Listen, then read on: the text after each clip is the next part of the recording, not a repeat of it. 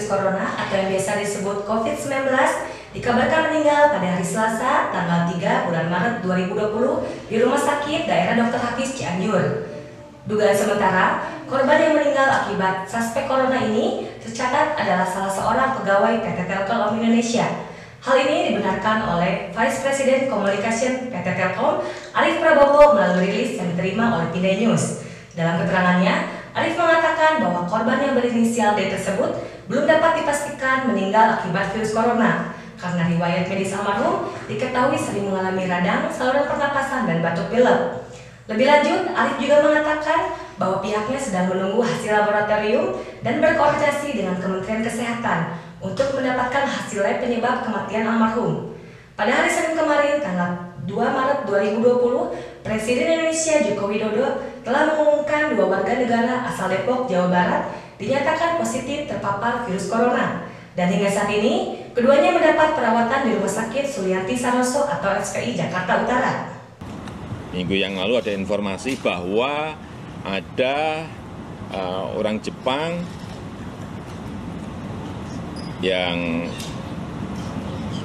ke Indonesia kemudian tinggal di Malaysia dan dicek di sana ternyata positif corona, tim dari Indonesia langsung menelusuri.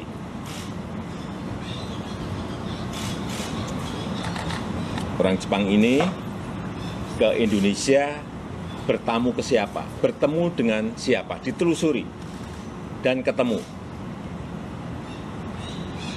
Sudah ditemukan, ternyata orang yang telah terkena uh, virus corona ini berhubungan dengan dua orang. Seorang ibu yang umurnya 64 tahun dan putrinya yang berumur 31 tahun. Dicek oleh tim kita pada posisi yang ternyata pada posisi yang sakit.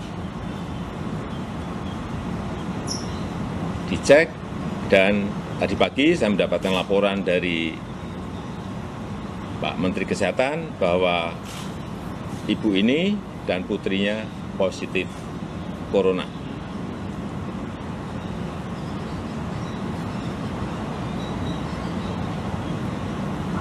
Tetapi juga perlu saya sampaikan bahwa sejak awal pemerintah ini benar-benar mempersiapkan.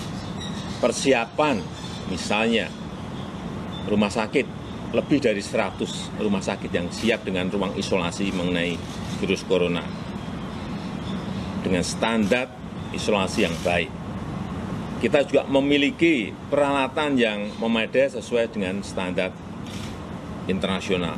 Kita juga memiliki persiapan untuk reagen yang cukup. Kita juga memiliki tim gabungan yang ini juga tidak pernah saya sampaikan, tim gabungan TNI Polri dan sipil dalam penanganan ini. Kita juga memiliki SOP yang standarnya sama dengan standar-standar internasional yang ada. Kita juga memiliki anggaran, anggarannya ada, dan ini juga diprioritaskan untuk menangani ini. Karena kalau kita tidak serius menangani ini, atau dianggap tidak serius, ini sangat